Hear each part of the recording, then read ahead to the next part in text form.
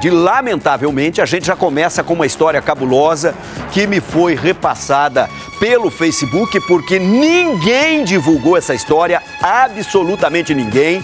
Mais uma coisa que se confirmada para lá de cabulosa na rede municipal de ensino. Um professor municipal foi preso suspeito de abuso sexual contra uma aluna. É o segundo caso em um mês. Isso já está no Ministério Público e a Secretaria de Educação vai aguardar a conclusão do inquérito para levar para a corregedoria. O caso aconteceu na escola de Guaracá. Uma aluna teria sido abusada por um professor de informática. Ele está preso provisoriamente por 30 dias. Duas pessoas comuns, né, escutaram a narrativa de uma criança e trouxeram a preocupação e a partir daí se desencadeou então é, a investigação do Ministério Público e infelizmente aí se constatou elementos é, de prática em tese de atos libidinosos por parte desse professor.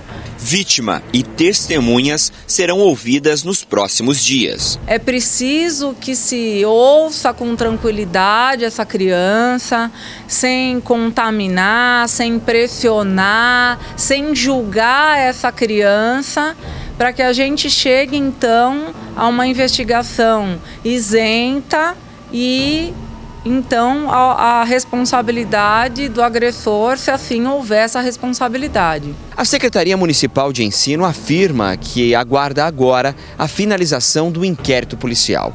Depois disso, o caso será encaminhado para a Corregedoria Geral do município, que vai analisar todo este processo. Se for comprovado o abuso deste professor, que tem 65 anos de idade e 37 anos de carreira, ele pode ser exonerado do cargo. Caso seja comprovada a veracidade dos fatos, então, obviamente, parte para um processo de exoneração. Infelizmente, ele perde todos os direitos para ele, porque ele tem 37 anos de carreira. Para nós é uma surpresa um professor com tantos anos no município ter um problema desse.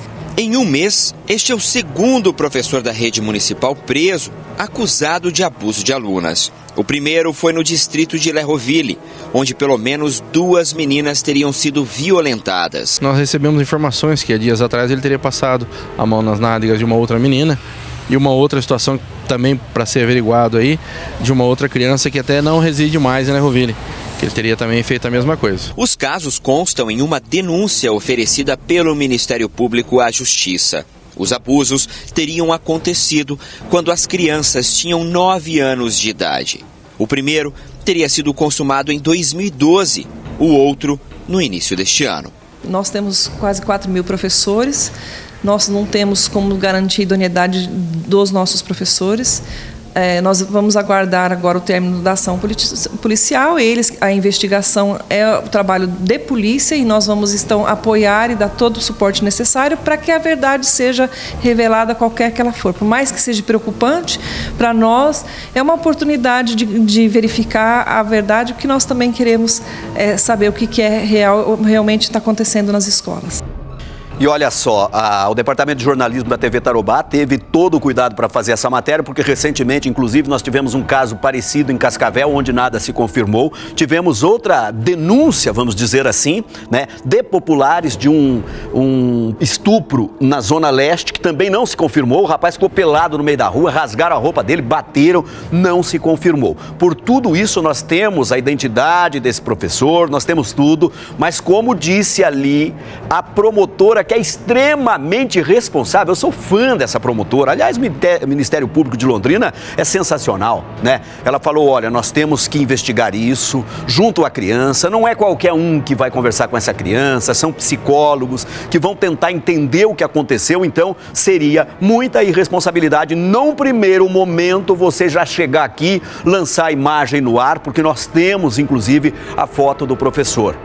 Então, que é um caso bastante preocupante, é, mas vamos aguardar as investigações. Matéria exclusiva da TV Tarobá, como a maioria das matérias jornalísticas de Londrina, que não são pautadas, como a gente diz na linguagem jornalística, né? Que não são marcadas, olha, tal hora o prefeito vai falar a respeito de tal coisa tudo chega primeiro para a TV Tarobá, que é a televisão que fala de Londrina. Muito obrigado pela confiança de quem passou isso pelo meu Facebook lá no inbox.